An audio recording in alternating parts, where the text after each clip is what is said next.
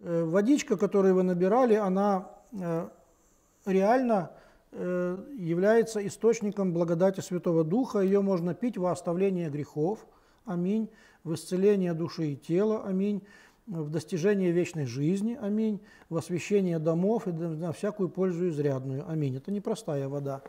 Вот это вот простая вода, тоже дар Божий, но простая вода. А вот то, что вы понабирали вчера, то, что я вижу здесь освещали у вас, это э, великая святыня, по-гречески, агиасма.